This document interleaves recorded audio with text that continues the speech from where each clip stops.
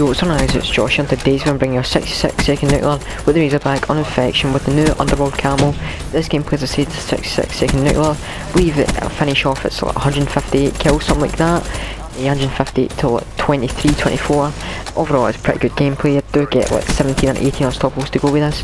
Uh, this is one of the gameplays I'm using for the TapX RC, currently going for that.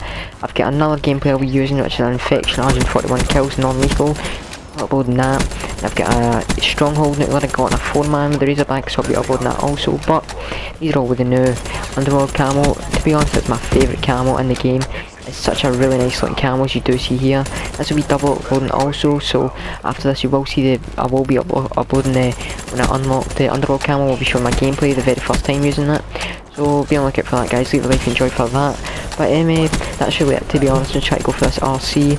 I'm going to be probably daily daily uploading now every single day because I have a really lot of gameplays and COD is coming to the end so might as well just do it because as, as I said it's coming to the end, there's not really much things to do left in the game. But anyway guys, there's a nuclear there. Also, this was a playing with a clan member, Rexipad.